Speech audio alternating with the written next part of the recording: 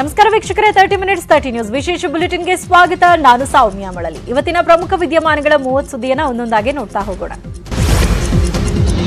Shivamogga flex ಗಲಾಟೆ ಬೆನ್ನಲ್ಲೇ ಈಗ ಏರಿಯಾ ವಾರ್ ಫೈಟ್ ಜೋರಾಗಿದೆ. ಮುಸ್ಲಿಮರ ಏರಿಯಾದಲ್ಲಿ ಸಾವರ್ಕರ್ ಫೋಟೋ ಹಾಕ್ತಾರೆ, ಟಿಪ್ಪು ಫೋಟೋ ತೆಗಿತಾರೆ. ಹಿಂಗಾದ್ರೆ ಗಲಭೆ ಆಗಲ್ವಾ ಅಂತ ಸಿದ್ದರಾಮಯ್ಯ ಪ್ರಶ್ನಿಸಿದ್ರು. ಇದೀಗ ಸಿದ್ದರಾಮಯ್ಯ ವಿರುದ್ಧ ಬಿಜೆಪಿ ಮುಗಿಬಿದ್ದಿದೆ ಈ ಬಗ್ಗೆ ಮಾತನಾಡಿದ ಬಿಜೆಪಿ ನಾಯಕರು ಮುಸ್ಲಿಂ ಏರಿಯಾ ಪಾಕಿಸ್ತಾನದಲ್ಲಿ ಇದೆಯಾ ಅಂತ ಪ್ರಶ್ನಿಸಿದ್ದಾರೆ. ಅಲ್ಲದೆ ಸಾವರ್ಕರ್ ಫೋಟೋ ಇಡೀ ದೇಶದ ಯಾವ ಮೂಲೆಯಲ್ಲಿ ಹಾಕಿದ್ರೂ ತಪ್ಪೇನಿಲ್ಲ. ಸಿದ್ದರಾಮಯ್ಯ ಏನ್ ಪಾಕಿಸ್ತಾನದಲ್ಲಿ ಮಾತಾಡ್ತಿದ್ದಾರೋ ಇಲ್ವೋ ಗೊತ್ತಿಲ್ಲ ಅಂತ ವಾಗ್ದಾಳಿ ನಡೆಸಿದ್ರು. ಹಾಕಕ್ಕೆ ಎಲ್ಲಿ ಹಾಕಕ್ಕೆ ಹೋಗಿರೋದು? ಮುಸಲ್ಮಾನರ ಏರಿಯಾದಲ್ಲಿ ಹಾಕಕ್ಕೆ ಹೋಗಿದ್ದಾರೆ. ಹಾಕೊಳ್ಳಿ, ನಮ್ದೇನು ತಕರಾರಿಲ್ಲ. ಬಿ ಜೆ ಪಿಯವರು ಯಾವ ಫೋಟೋನಾದ್ರು ಹಾಕೊಳ್ಳಿ ಬಟ್ ಮುಸಲ್ಮಾನರ ಏರಿಯಾಕ್ಕೆ ಯಾಕೆ ಹಾಕ ಹೋಗಿದ್ರು? ಆಯಿತು, ಅವ್ರು ಹಾಕಿದ್ರು. ಟಿಪ್ಪು ಸುಲ್ತಾನ್ ಫೋಟೋ ಯಾಕೆ ಬೇಡ ಅಂತಾರೆ? ಸಾವರ್ಕರ್ ಫೋಟೋ ಹಾಕಿದ್ದಾರೆ. ಟಿಪ್ಪು ಶ್ರೀಗಂಧ ಬೆಳೆದ್ರೆ ಕಳ್ಳರು ಬರ್ತಾರೆ. ಮಾರಾಟ ಮಾಡೋಕ್ಕಾಗಲ್ಲ. ಚಿಂತೆ ಮಾಡ್ತಿದ್ದೀರಾ? ನೂರ ಮೂವತ್ತು ಎಕರೆಯಲ್ಲಿ ಶ್ರೀಗಂಧ ಬೆಳೆದವ್ರು ನಿಮ್ಗೆ ಹೇಳ್ಕೊಟ್ರೆ ಮತ್ತೆ ಆಗ್ತಾಡ ಫ್ರೀಡಮ್ ಆ್ಯಪನ್ನು ಈಗಲೇ ಡೌನ್ಲೋಡ್ ಸುಲ್ತಾನ್ ಫೋಟೋನು ಹಾಕೊಳಕ್ ಬಿಡಬೇಕು ನೀವು? ಮೊದಲು ಕಿತಾಪತಿ ಮಾಡೋರು ಇವ್ರು. ಸಿದ್ದರಾಮಯ್ಯನವರೆಲ್ಲೋ ಕನ್ಫ್ಯೂಷನ್ ಅಲ್ಲಿ ಇದ್ದಂಗಿದ್ದಾರೆ ಮುಸ್ಲಿಮರು ಇರೋ ಏರಿಯಾ ಏನು ಪಾಕಿಸ್ತಾನಕ್ಕೆ ಸೇರಿದ್ಯಾ? ಭಾರತಕ್ಕೆ ಸೇರಿರುವಂಥದ್ದು ಅವರೆಲ್ಲೋ ಮುಸ್ಲಿಮರು ಇದ್ದರೆ ಪಾಕಿಸ್ತಾನ ಅಂತ ತಿಳ್ಕೊಂಬಿಟ್ಟವ್ರ ಸಿದ್ದರಾಮಯ್ಯನವರು. ಸಾವರ್ಕರ್ ಈ ದೇಶದ ಸ್ವಾತಂತ್ರ್ಯ ಹೋರಾಟ ಪಾಲ್ಗೊಂಡದ್ದು. ಬ್ರಿಟಿಷರ ವಿರುದ್ಧ ಹೋರಾಟ ಮಾಡಿ ಅವ್ರಿಗೆ ಅಂತ ಒಂದು ಕಠಿಣ ಶಿಕ್ಷೆಯನ್ನು ಅನುಭವಿಸಿ ಅವರ ನೋಡ್ರಿ ಸಾವರ್ಕರ್ ಒಂದು ನೆಪ. ಅವರು ವ್ಯವಸ್ಥೆ ವಿರೋಧಿಗಳು ಅವರು ದೇಶ ವಿರೋಧಿಗಳು ಅವರು ಪ್ರತ್ಯೇಕತಾವಾದಿಗಳು. ಸಾವರ್ಕರ್ ಅವರಿಗೊಂದು ನೆಪ. ಇವತ್ತು ಸಾವರ್ಕರ್ನ ಮುಂದಿಟ್ಕೊಳ್ತಾರೆ ನಾಳೆ ಅಂಬೇಡ್ಕರ್ ಮುಂದಿಟ್ಕೊಳ್ತಾರೆ ನಾಡ್ದು ಮಹಾತ್ಮ ಗಾಂಧಿ ಮುಂದಿಟ್ಟು ಮುಂದಿಟ್ಕೊಳ್ತಾರೆ ನಾಡ್ದು ಇನ್ನೊಬ್ಬರು ಮುಂದಿಟ್ಕೊಳ್ತಾರೆ.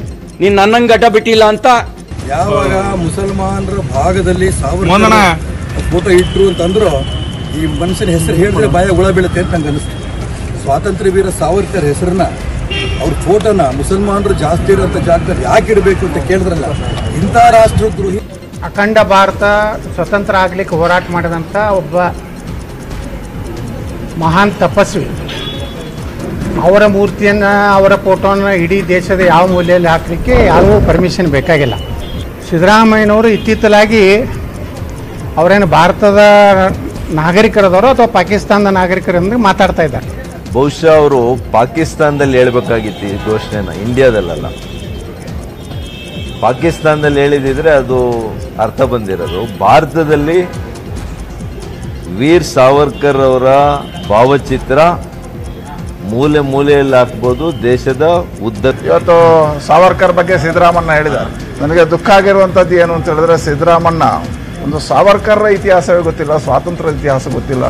ಸಾವರ್ಕರ್ ಭಾವಚಿತ್ರ ಎಲ್ಲಿಟ್ಟಿದ್ದಾರೆ, ಅದರಲ್ಲೂ ಕೋಮು ಭಾವನೆಯನ್ನು ಸೃಷ್ಟಿ ಮಾಡತಕ್ಕಂಥ. ಅದರಲ್ಲೂ ಜಾತಿ ಬಣ್ಣವನ್ನು ಕಟ್ಟತಕ್ಕಂಥ ಕೆಲಸವನ್ನು ಇವತ್ತು. ಕರ್ನಾಟಕದಲ್ಲಿ ಸಾವರ್ಕರ್ ಸಮರ ಜೋರಾಗ್ತಾ ಇದೆ. ಉಡುಪಿಯ ಬ್ರಹ್ಮಗಿರಿ ಸರ್ಕಲ್ನಲ್ಲಿ ಸಾವರ್ಕರ್ ಫೋಟೋ ಮತ್ತು ಹಿಂದೂ ರಾಷ್ಟ್ರ ಎಂಬ ಘೋಷಣೆ ಇರುವ ಬ್ಯಾನರ್ ಅಳವಡಿಸಲಾಗಿದ್ದು, ಅದನ್ನು ತೆರವುಗೊಳಿಸಲು ಕಾಂಗ್ರೆಸ್ ಆಗ್ರಹಿಸಿದೆ. ಇದರ ಮಧ್ಯೆ ಬಿಜೆಪಿ ಯುವ ಮೋರ್ಚಾ ವತಿಯಿಂದ ಸಾವರ್ಕರ್ ಬ್ಯಾನರ್ಗೆ ಪುಷ್ಪಾರ್ಚನೆ ಮಾಡಲಾಯಿತು.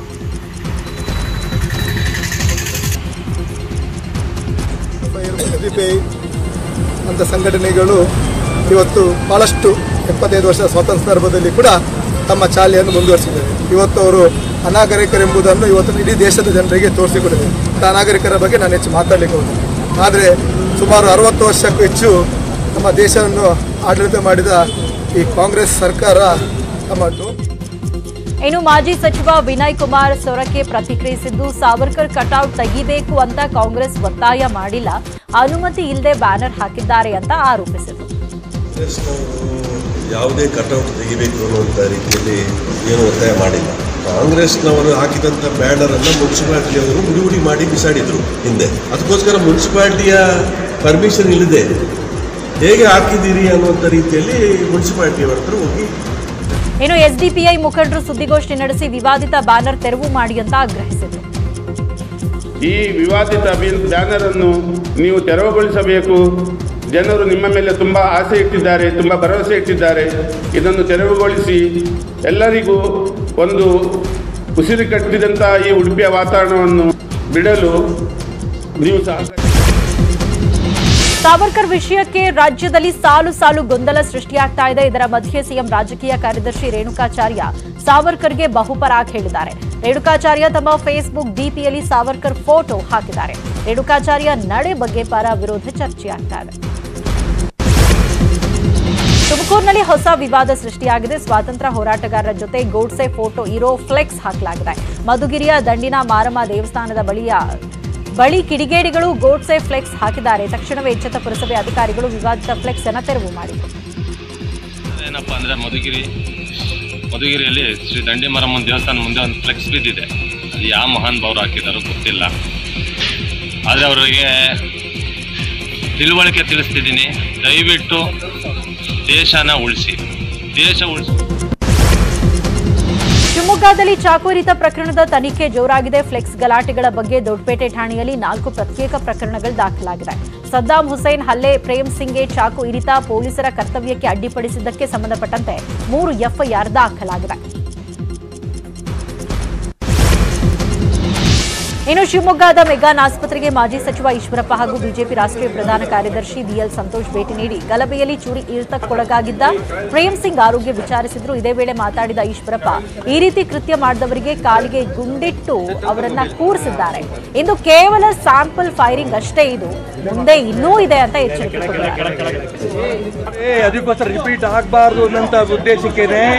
ಯಾರು ಈ ರೀತಿ ಕೊಲೆ ಮಾಡಂತ ಮಾಡಿ ತಪ್ಪಿಕೊಂಡು ಓಡೋಗುವಂಥ ಪ್ರಯತ್ನ ನಡೆಸಿದ್ರು ಅಂತ ಗುಂಡಾಗಳಿಗೆ ಮೊದಲನೇ ಬಾರಿ ಫೈರಿಂಗ್ ಮಾಡಿ ಅವ್ರ ಮೇಲೆ ಕಾಲಿಗೆ ಪೆಟ್ಟು ಮಾಡಿಸಿ ಅವ್ರನ್ನ ಕರ್ಕೊಂಡು ಬಂದೀಗ ಆಸ್ಪತ್ರೆಯಲ್ಲಿ ಅಡ್ಮಿ ಮಾಡಿದೆ. ಇದು ಸ್ಯಾಂಪಲ್ ಫೈರಿಂಗು. ಈ ರೀತಿ ರಾಷ್ಟ್ರೋದ್ರೋಹ ಹಿಡಿದಿದ್ದು ಮುಂದುವರೆಸಿದ್ರೆ ಬರೋಂಥ ದಿನಗಳಲ್ಲಿ ಹೆಚ್ಚಿನ ಬೆಲೆಯಿಂದ ತತ್ತಿಬೇಕಾಗತ್ತೆ ಅಂತ ಎಚ್ಚರಿಕೆಯನ್ನು ಕೂಡ ಈ ಸಂದರ್ಭ ಕೊಡೋಕ್ಕೆ ಇಷ್ಟಪಡ್ತೇನೆ. ಧ್ವಜಾರೋಹಣ ಆಯಿತು. ಈಗ ಗಣೇಶೋತ್ಸವ ವಿವಾದ ಭುಗಿಲೇಳು ಲಕ್ಷಣ ಗೋಚರಿಸ್ತಾ ಇದೆ. ಸರ್ಕಾರಕ್ಕೆ ಹಿಂದೂ ಸಂಘಟನೆಗಳ ಟೆನ್ಷನ್ ಶುರುವಾಗಿದೆ. ಹಿಂದೂ ಸಂಘಟನೆಗಳು ಬೆಂಗಳೂರಿನ ಚಾಮರಾಜಪೇಟೆ ಮೈದಾನದಲ್ಲಿ ಗಣೇಶೋತ್ಸವ ಆಚರಿಸೋಕೆ ಅವಕಾಶ ನೀಡುವಂತೆ ಆಗ್ರಹಿಸ್ತಾ ಇವೆ. ಇದೇ ಗೊಂದಲದ ಮಧ್ಯೆ ವಿಜಯಪುರದ ತಾಜ್ ಬವಾಡಿಯಲ್ಲಿ ಗಣೇಶ ವಿಸರ್ಜನೆಗೆ ಅವಕಾಶ ನೀಡುವಂತೆ ಒತ್ತಾಯಿಸಲಾಗ್ತಾ ಇದೆ. ಆರು ವರ್ಷಗಳಿಂದ ತಾಜ್ ಚಾವಡಿಯಲ್ಲಿ ಗಣೇಶ ವಿಸರ್ಜನೆ ನಡೀತಾ ಇಲ್ಲ. ಅದರಿಂದ ಈ ಬಾರಿ ಅವಕಾಶ ನೀಡುವಂತೆ ಹಿಂದೂಪರ ಸಂಘಟನೆಗಳು ಜಿಲ್ಲಾಡಳಿತಕ್ಕೆ ಮನವಿ ಮಾಡಿವೆ.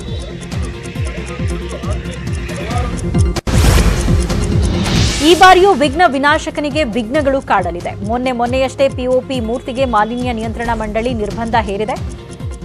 ಈಗ ಗಣೇಶ ಮೂರ್ತಿ ಐದು ಅಡಿಗಿಂತ ಹೆಚ್ಚಿರಬಾರದು ಅನ್ನೋ ನಿಯಮ ಜಾರಿ ಮಾಡಲಾಗಿದೆ. ಕಳೆದ ಬಾರಿ ಎರಡರಿಂದ ನಾಲ್ಕು ಅಡಿ ಇರಬೇಕು ಅನ್ನೋ ನಿಯಮ ಮಾಡಲಾಗಿತ್ತು.